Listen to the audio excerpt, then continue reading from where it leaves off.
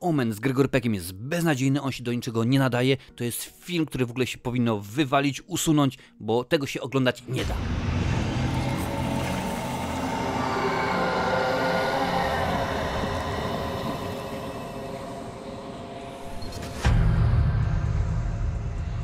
Omen to film, który niedługo będzie miał 50 lat, a ogląda się go naprawdę jakby był zrobiony wczoraj, bo rzeczywiście horror w starym stylu, fajnie, ale stwierdzenie przy filmie, który ma 50 lat. Nie, ale rzeczywiście coś w tym filmie jest, że reżyser Richard Donner usunął ze scenariusza wszelkie możliwe odnośniki do rzeczy nadprzyrodzonych, bo miały pojawić się jakieś leprykony, miał pojawić się demon, który ma zamiast oczywiście nóg, ma tam jakieś kopyta i tak dalej, i tak dalej. On powiedział, nie, w tym filmie wrzucimy tylko i wyłącznie takie rzeczy, które teoretycznie mogą się naprawdę wydarzyć. I raczej to sprowadzimy do tego, że ten film będzie na zasadzie, czy to rzeczywiście prawda, czy my wierzymy, że Damien jest no, synem szatana, czy jednak nie, jednak y, ojciec no, ma nie, nie, nie po kolei w głowie. Gregory Peck w, w, roli, w roli ambasadora, jego żona rodzi im się dziecko. Niby jest wszystko w porządku, ale kiedy dzieciak ma 5 lat, zaczynają się dziać dziwne rzeczy. Ludzie zaczynają ginąć, mhm, pojawia się jakaś dziwna niania, psy atakują jakieś zwierzęta w, w zoo i tak tak dalej, i tak dalej. Co jest później, nie będę mówił, bo tak jak mówiłem, co będzie później, nie będę mówił, bo rzeczywiście jest to film, który zdecydowanie warto, warto obejrzeć, a powstał on no, tak naprawdę z chęci zarobienia. Wyłącznie dla napisałem scenariusz, bo rzeczywiście potrzebowałem pieniądze na życie i nie miałem nic. Tyle, naprawdę tyle brakowało, a nie powstałby, bo widzisz, tutaj jest zwiastun i 20th Century Fox, no w tym właściwie, w tym momencie 20th Century Studios, bo właścicielem jest Disney. Kiedy otrzymali scenariusz, otrzymali propozycję, stwierdzili, no wiecie co, nie interesuje nas to za bardzo. Warner Brothers się zainteresował. Kilka lat wcześniej zrobiliśmy Egzorcystę i może to być rzeczywiście kolejny dobry film, no ale po drodze się urodził Egzorcysta 2, stwierdziliśmy, robimy Egzorcystę 2 Heretyka beznadziejny film, uwierz mi. Jeżeli jeszcze nie było ci dane zobaczyć, był omawiany w cyklu kultowe horrory i to naprawdę nie jest dobre kino, więc stwierdzili, ok, my też tego nie chcemy i puścili scenariusz i on był dostępny tak naprawdę, każda wytwórnia mogła się nim zainteresować. Zainteresował się nim ponownie 20th Century Fox, no i w tym momencie reszta jest już jak najbardziej historią. Film co mnie w nim urzekło, bo on jest naprawdę technicznie, tu jest trików mnóstwo zastosowanych, bo rzeczywiście, pamiętaj, to jest rok 76, przed komputerami, przed różnego rodzaju CGI, czyli komputerowo generowanymi efektami, więc y, tutaj, jeżeli coś trzeba było zrobić, to trzeba było to zrobić praktycznie. Reżyser Richard Donner, no wiadomo, to nie tylko i wyłącznie Omen, ale również i seria Superman, Zabójcza Broń, Teoria Spisku i tak dalej, i tak dalej. Rzeczywiście mnóstwo tych no, klasyków, w tym momencie już niekoniecznie tylko i wyłącznie horrorów, ale mnóstwo tych klasyków y, poczynił. Y, kiedy wybrał dzieciaka, no to też nie było takie oczywiste, ponieważ pierwsze co powiedział na przesłuchaniu do dzieciaka, mówi, słuchaj, jest taka scena, kiedy będziesz musiał zaatakować kobietę. Zaatakuj mnie tak, jakbyś, jakbyś ją zaatakował. No i zaczął krzyczeć, piszczeć, drapać, nawet pff, tak, w kochones tam gdzieś go uderzył, stwierdził Richard Donner, on jest świetny, jego bierzemy, jest... Ale boli. Rewelacyjny, tylko musimy mu te jego blond włosy przefarbować na czarno. Damy mu oczywiście ciemne szkła kontaktowe, żeby wyglądał yy, inaczej. Rzeczywiście to jest jeden z tych aspektów, który sprawił, że twórca dokładnie wiedział, jak do tego podejść kiedy mamy scenę w zoo, gdzie no te małpy, szympansy, no jak zwał, tak zwał, atakują, y, atakują samochód, no tutaj też był problem, ponieważ y, osoba odpowiedzialna oczywiście za gibony to są chyba, czy babuny, czy jakoś tak, za te małpy, y, wzięła jedno z dzieci tych małp do auta i pokazała przez szybę. Zero reakcji. Nic w ogóle, w ogóle małpy totalnie, totalnie nie były zainteresowane, ale kiedy już wziął, że tak powiem, głowę rodziny i wsadził do auta, no to nagle oszalały, więc jak widzisz i na przykład Lee jest bardzo zdenerwowana, to dlatego, że małpy oszalały i w tym momencie nie było nad nimi kontroli i to, co widzisz, to jest atak, to nie jest żadne udawanie, to nie jest, jak już mówiłem, czyli komputerowo generowany efekt. Ja osobiście widziałem już ten film po raz, po raz 50 e, pewnie e, ostatnimi czasy, ale rzeczywiście, kiedy oglądasz po raz pierwszy, zastanawiasz się, czy rzeczywiście, czy ten dzieciak jest y, opętany, oczywiście do pewnego momentu się takimi rzeczami za zastanawiamy, bo, bo pe pewnie później to już jest wszystko wyjaśnione, znaczy nie pewnie ja wiem, ale nie chcę tobie zdradzać, y, czy jednak może to ojciec i ci ludzie wokół niego są troszeczkę zakręceni i oni niespecjalnie wiedzą, wiedzą jak to ugryźć. Mamy kilka fajnych straszaków, no wtedy pewnie jeszcze pojęcie jumpscare, czyli straszak nie istniało, bo to dopiero wtedy się kształtowały te wszelkiego rodzaju zasady, reguły horrorów. Pamiętaj, to są lata 70. Wtedy tak naprawdę mieliśmy niezbyt wiele, niezbyt wiele horrorów, to może niekoniecznie dobre stwierdzenie, ale niezbyt tak, wiele tych, takich klasyków, które aż, aż tak mocno by zapadły w pamięć, aż tak mocno by wryły się w, w światową kinematografię, że będzie druga, trzecia, piąta, 48 część, bo tak naprawdę był Egzorcysta, oczywiście było Dziecko Rozmery y, Romana Polańskiego, teraz mieliśmy y, ten film, no tam jeszcze kilka innych oczywiście y, cudownych, naprawdę cudownych by się jak najbardziej znalazło, ale ten film musiał pokonać pewnego rodzaju bariery, bo oczywiście pamiętaj, to są lata 70. Wielu scenarzystów powiedziało nie dziękuję bardzo, ja, my nie będziemy pracować przy tym, przy tym filmie, no bo wiadomo tematyka jest, jest jaka, nie bardzo jesteśmy zainteresowani, bo to w tym momencie się trafi na cenzurowane. Nie tylko scenarzyści, wielu aktorów, którzy Gregory Peck oczywiście nie był pierwszym wyborem, bo on już wtedy był niemalże na emeryturze, ale wielu aktorów, którzy wtedy byli, że tak powiem, na szczycie, również powiedzieli nie, nie, dziękuję bardzo, my nie jesteśmy zainteresowani. Między innymi mam tutaj napisane na IMDb Charlton Heston, czyli Ben Hur, Roy Scheider, Dick Van Dyke, a także William Holden. Oni wszyscy stwierdzili nie, dziękuję bardzo, nie jesteśmy zainteresowani. Mimo tego, że akurat William Holden wróci i pojawi się w drugiej części, to akurat Gregory Peck, na niego padł, padł wybór i tak naprawdę on uruchomił tę całą produkcję, bo ok, niby wszystko miało być w porządku, ale nie było gwiazdy, a kiedy Gregory Peck powiedział, proszę bardzo, jak, jak najbardziej, ja wbijam, będę robił ten film, wtedy się okazało nagle, że o, skoro Gregory Peck, no to jest nazwisko, to wtedy cały czas było bardzo ważne nazwisko, zresztą w światowej kinematografii i jak tak pomyślimy o tych filmach, to on cały czas y, jest ważną, ważną postacią. Ok, no to się znalazły pieniądze i tak dalej. On wziął i no, gdyby powiedział, ok, to ja chcę swoją prawdziwą wypłatę, tą, którą biorę zawsze, no to by się nie udało tego filmu zrobić, ale za ten film wziął marne 250 tysięcy dolarów. Co ja sobie za to kupię? Waciki? Ułamek jego normalnej wypłaty. Tak to już wtedy wyglądało, ale zażyczył sobie, że ok, to jeżeli film będzie sukcesem, to ja poproszę 10% mm, od tego, co on zarobi. Film przy budżecie 2 miliony 800 tysięcy dolarów zarobił ponad 60 milionów dolarów.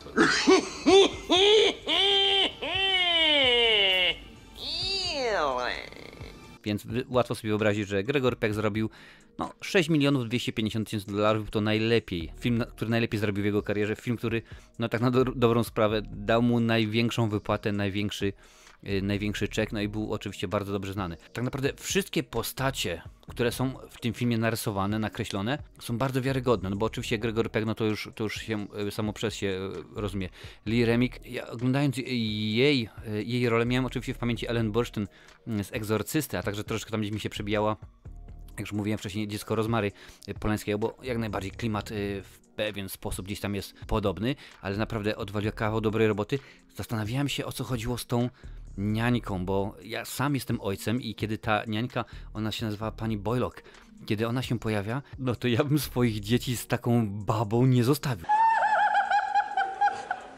Nie ma szans, naprawdę, nie byłoby takiej opcji. I ten jeszcze w ogóle jej pies, ten Rottweiler, tu też były kolejne, kolejne problemy, ponieważ okazało się, że gdy tego psa już przyprowadzono na plan, no to on się zaczął łasić, zaczął lizać, chciał, ażeby go głaskano i tak dalej, po prostu do rany przyłóż. A to, co widzimy, no to rzeczywiście znowuż reżyser, znowuż opiekun psa musieli natrudzić się i wymyślić jakiś sposób, żeby to, żeby to zrobić. Postacie są naprawdę tak świetnie narysowane. Na początku ta, e, ta opiekunka miała być miłą, starszą Irlandką, tak jest napisane na IMDB, że ona rzeczywiście miała być w porządku. Mm, tak, dziękuję. Dopiero aktorka podczas przesłuchania tak stwierdziła, że o nie, nie taki jest zarys, to ja sobie zmienię to w ten sposób, w ten sposób y, tę postać sportretuję i rzeczywiście wypadło to naprawdę bardzo dobrze, bo mało, mało brakowało, ją w ogóle wywali, wywalili, bo no, jednak koncept był troszeczkę inny, jak już mówiłem wcześniej, wszystko miało być możliwe do, do odegrania. Wszystkie te postacie się bardzo dobrze zazębiają, bo to tak naprawdę nie ma znaczenia, czy mówimy o tym, o tym no, Damienie,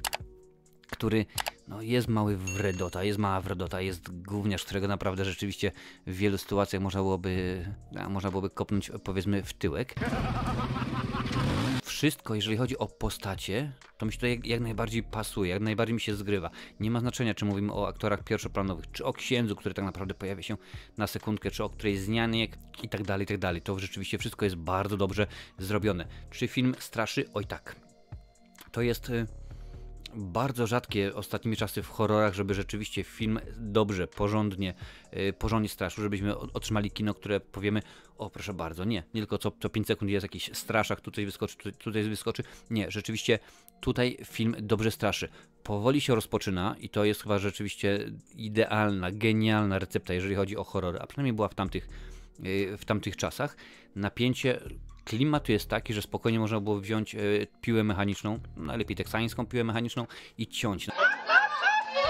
Naprawdę jest tak grubo, że film po no, prawie 50 latach on ciągle daje radę. Rzeczywiście ciągle straszy. Widać, że te klasyki jak no, Egzorcysta, jak Dziecko Ro- Rozmary wspomniane wcześniej oczywiście i jak najbardziej Omen, pierwsza część z Gregory Peckiem, to jest coś, co Tygrys klimonuje bardziej. To jest dobre kino, to jest porządny horror, a na dodatek y, on cię pozostawia w takim niedopowiedzeniu, bo okej, my wiemy swoje. Tak nam się wydaje, że swoje, ale czy tak naprawdę jest? No bo wiadomo, że potem powstała druga, trzecia, czwarta część i w 2006 roku otrzymaliśmy, otrzymaliśmy nową wersję, później był jeszcze serial, ale tak naprawdę ten serial Damien dosyć szybko został anulowany, a szkoda, bo dosyć fajnie się go oglądało. Dużo tych, tych informacji jest w ten sposób e, pokazanych, ale film tak dosyć nietypowe zakończenie, jak na film hollywoodzki, no ogólnie jak na film rzeczywiście, bo to pamiętaj, to, co teraz my wiemy, że okej, teraz tak się czasami mogą filmy kończyć, a po to, żeby zrobić drugą, trzecią, czwartą, piątą część, to wtedy takich rzeczy nie było. W latach 70. nikt specjalnie nie myślał o tym, że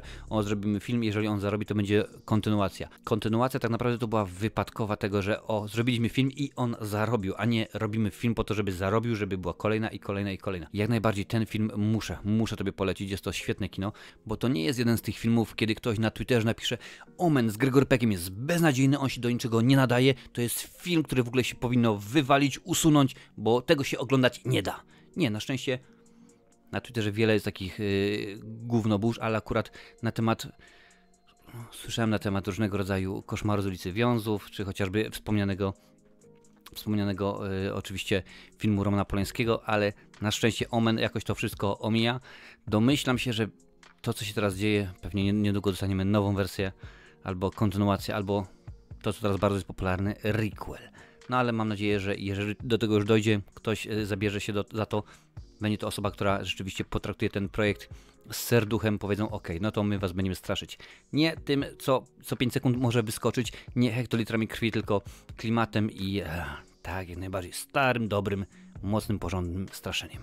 Jeżeli nie było ci dane zobaczyć, to w opisie wrzucę link do tego filmu możesz sobie go e, na Amazonie kupić i, i zobaczyć, czy po wielu, wielu latach, tak, no już po 47 latach, Gregory Peck, Lee Remick i kilka innych oczywiście osób w tym filmie straszą, dają radę i pokazują, że horror to nie zawsze muszą być hektolitry krwi, to nie zawsze musi być straszak co 5 sekund, wystarczy klimat, wystarczy niedopowiedzenie, wystarczy straszyć nas tym, czego nie widzimy. Nieczęsto to mówię, jeżeli chodzi o film sprzed niemalże 50 lat, ale bardzo mi się podoba, jak on technicznie jest naprawdę rozwiązany. No, jest Panavision, czyli jest szeroki ekran, a to akurat zasługa operatora, który przekonywał do tego i przekonał w sumie mm, Richarda Donnera, który to był jego, może nie filmowy debiut, ale kinowy debiut. To był jego pierwszy film y, kinowy, bo dopiero wcześniej był znany oczywiście jako twórca, ale tylko i wyłącznie telewizyjny, więc y, wiele pomysłów tutaj się y, zgadzało. Na przykład jest, jest scena, kiedy będziesz y, oglądać, tam spada akwarium i tam złote rybki wypadają z niego.